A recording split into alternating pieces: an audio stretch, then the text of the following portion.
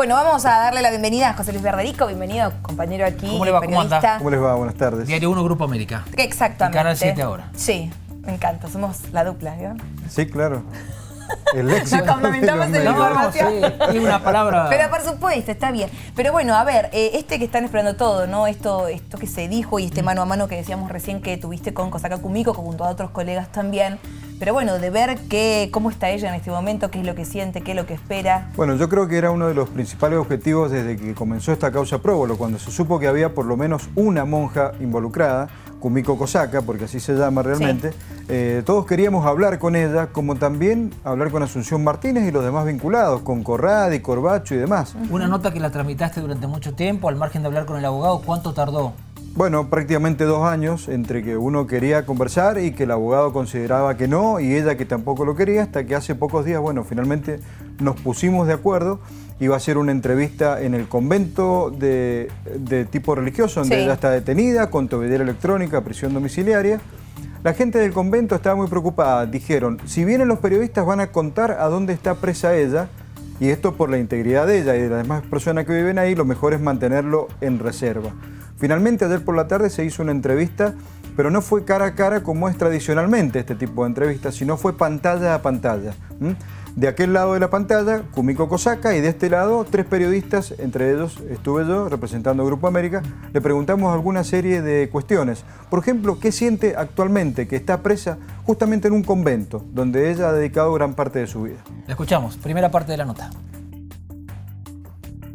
Bueno, quiero preguntarle en primer término, eh, ¿qué siente en este momento cuando está bajo un régimen de prisión domiciliaria, con una tobillera electrónica que limita sus movimientos, sus desplazamientos, justamente en una sede religiosa? Y cuando le digo religiosa me refiero a toda la connotación que eso lleva, siendo que su carrera, gran parte de su vida usted la ha dedicado a la actividad religiosa. Digo, y estando detenida hoy por una cuestión penal tan grave como la que se dice. Cuénteme, por favor. Eh, lo que siento. A ver, ¿qué sentiría usted si lo llegan a acusar de algo que jamás hizo? Por más que haya sido sea una persona religiosa, ¿qué sentiría? ¿Cómo se sentiría? Eh,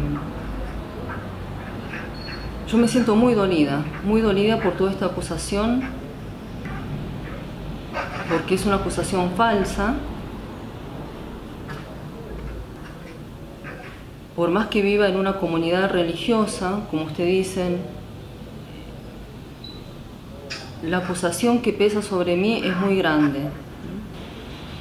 Sin embargo, pienso y siento también, tengo una convicción profunda de que estas acusaciones este, han sido manipuladas. ¿Sí? Em, ¿Por quiénes? porque nada de lo que dicen, nada de lo que dicen es cierto. Hay pruebas contundentes, pruebas concretas que demuestran que todo es falso. Mis abogados lo van a este, presentar en el momento del juicio.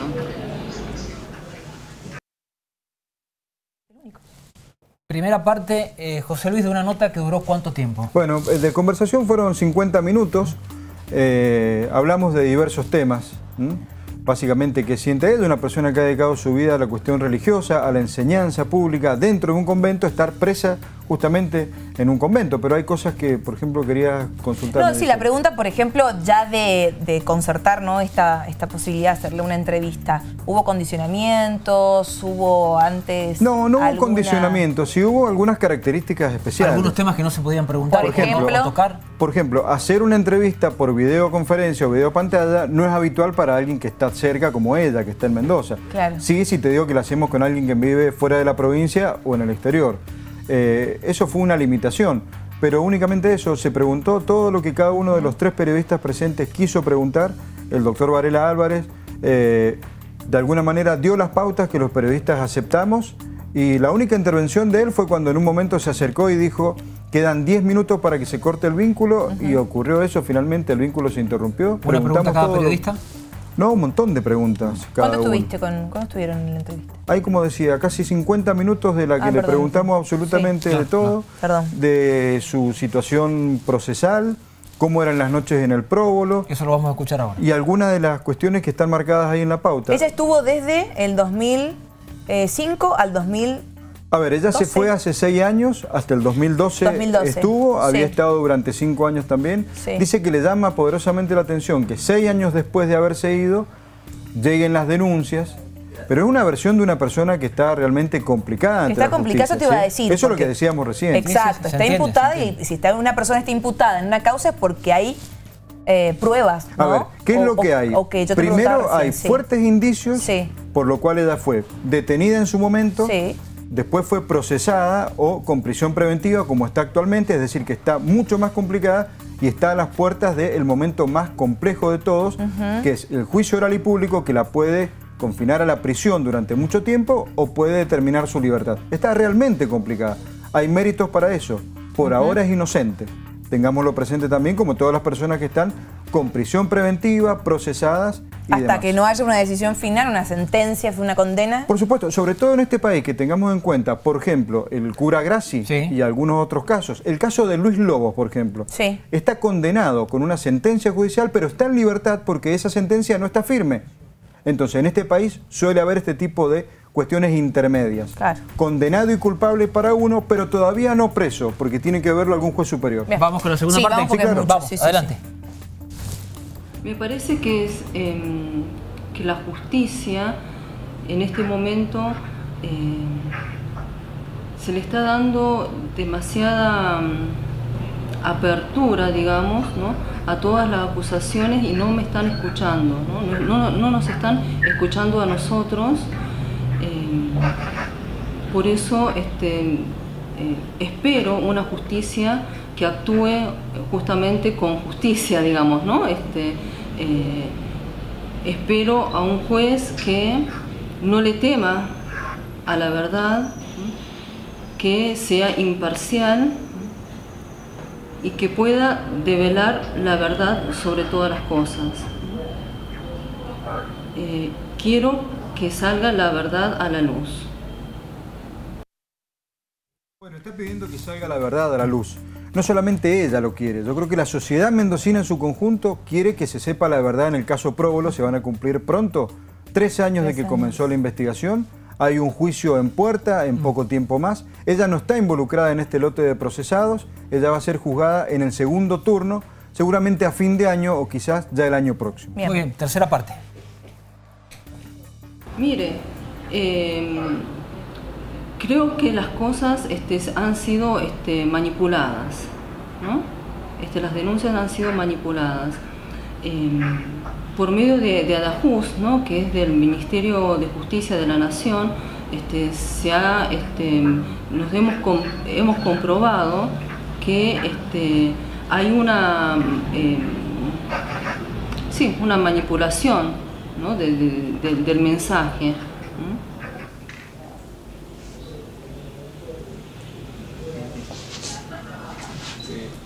Pero fueron malinterpretaciones de, de parte de los intérpretes. De los eh, intérpretes, sí, de los intérpretes.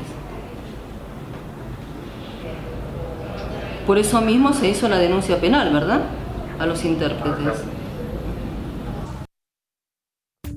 Hay una Ahí parte estaba, sí. importante que viene ahora, cómo eran las noches allí en el próbulo de Luján de Cuyo. Claro, exactamente. Hasta recién escuchábamos qué tipo de importancia le da ella a las pruebas que la involucran y la comprometen seriamente, como decíamos recién. Para el fiscal debe estar presa como ahora con tobillera electrónica. ¿sí? Claro. Para ella es inocente. Habrá que ver qué dice más adelante el tribunal en definitiva. Lo último que le preguntábamos, entre una serie de preguntas que están todas en diario1.com.ar, ¿cómo eran las noches en el próbolo? ¿Cómo era la convivencia entre los chicos hipoacúsicos que no podían hablar, no podían escuchar correctamente, y los docentes y las monjas, especialmente ella? La escuchamos. Cuéntenos, por favor, cómo eran las noches adentro del próbolo donde convivían ustedes con algunos chicos. Las noches. Eh, no sé a qué se refiere, a ver si a... No, como era una noche normal, donde dormían los grupos, eh, si había personas a cargo de que todo estuviera seguro y sin complicaciones. Eh, miren, eh, a, la- A eso me referí. ¿Cómo? A eso me referí. Ah, bien. Em, por lo general a las 21 terminábamos de cenar, nos íbamos al sector nuestro, ¿no? y ahí tenían un momento de recreación. ¿No? Este, se jugaba a, disfrazarnos, este, a veces a la pelota, este, yo, a la escondida, eh, no sé, un juego pero siempre dentro. Y después, este, o 9, 21 a 30 aproximadamente, este, bueno, eh, nos retirábamos, nos íbamos, nos íbamos a la habitación, se cepillaban los dientes, se higienizaban y bueno, este, cada uno iba a su, a su habitación. Este, las niñas algunas ah, eh, compartían, este, son, habitaciones grandes con tres camas, entonces bueno, algunas este, dormían de a dos, otras de a tres. Bueno, así hasta el día siguiente que despertábamos, creo que eran las 7 de la mañana, porque a las 8 estaba el desayuno y 8 y media más o menos entraban a clase. De las noches allí en el próbolo a ver quién dice la verdad. Porque Sí. ella tiene su verdad, Sí, y la justicia sí. deberá creerlo o no. Lo que pasa que Y sí. los chicos, las víctimas, también dicen su verdad y quieren que hayan responsables por todo lo que vivieron. Que en esto del 2002 al 2000, perdón, 2005 creo que entró ella, no me recuerdo la entrada. Sí, hasta el 2012. Hasta el 2012, de ahí empezaron. años. 2006 hay una primera denuncia, después 2008 está la denuncia esa que se archivó, que nunca se dio curso. En el 2008 vino un día al próbolo el papá de un alumno Sí. y dijo, mi hijo ha dicho que ha sido violado aquí adentro. ¿Sabes qué le dijeron? Vuelven un rato, vamos a tener una reunión a ver qué respuesta nos dan. El hombre tomó a su hijo de la mano y no volvió nunca, Nunca más. más. 2008. Por eso te digo, viste, justo, bueno. Bueno, veremos como decías. que Sí, claro, justicia, sí, sí, ¿no? sí. Última parte. Es indispensable que algún día tengamos un fallo ejemplar. Como está pidiendo ella, que de alguna forma está exigiéndole a la justicia que sea imparcial, que revele la verdad real. La sociedad también está pidiendo lo mismo. Absolutamente. ¿Cree que hasta ahora los jueces y fiscales que han intervenido han actuado de manera justa con usted?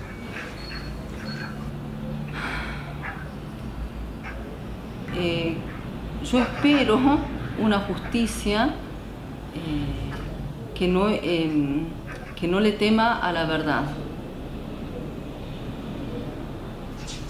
¿Usted cree que hasta ahora los que han intervenido han tenido ese temor entonces? Lamentablemente, eh, por lo que voy experimentando, este sí. Sí. Esto ya, José Luis, a nivel periodista, eh, Sí. has entrevistado muchísimas personas. ¿Le creíste, viste sinceridad en sus respuestas a través de los gestos que hizo? ¿Qué viste vos? ¿Cómo la viste a ella? A ver, vi algunas cosas, por ejemplo, eh, al comienzo tenía un discurso prácticamente armado por sus abogados y era notable eso. Los, Había que entrarle por algún lado. los términos que utilizaba sobre todo, Claro. pero cuando la charla fue yendo un poco más hacia la cuestión cotidiana, a la forma de vida, a su familia, a sus creencias y demás, eh, me parece que hablaba la persona eh, lejos del hábito de la monja. ¿no? La persona que está presa con tobillera electrónica y que sabe que está en un gravísimo problema. Cuando le preguntamos por el futuro, quizás un poco nosotros entreviendo la posibilidad de que pueda llegar a ser condenada, ella dijo, prefiero no pensar en el futuro porque esto es incertidumbre. Quiero pensar en el día a día intensamente. Yo creo que ella en el fondo Le sabe tiene que- miedo al futuro. Le tiene miedo Le al tiene futuro, que sabe pase. que está en gravísimos Que problemas. está complicada. Sí, sí, totalmente, porque más allá de, como dicen algunos, es una moda denunciar los abusos sexuales, como dice ella, la justicia tiene una apertura demasiado grande para recibir este tipo de denuncias, ella sabe que hay pruebas que en este momento la tienen presa con una tobillera electrónica, justamente donde ella dedicó gran parte de su vida, ¿Dónde se en puede un ver la convento. nota? ¿La nota dónde la podemos La ver? nota está disponible en diario1.com.ar, son 45 minutos y ahí contamos la previa de cómo se armó este tipo de notas, eh, que bueno, que no ha sido de una convocatoria masiva para todos los medios de prensa, pero sí para los periodistas que hemos continuado un poco más el derrotero de la causa, que todavía está vigente dos años y medio después. Muy amable. A Gracias. José Luis. Gracias.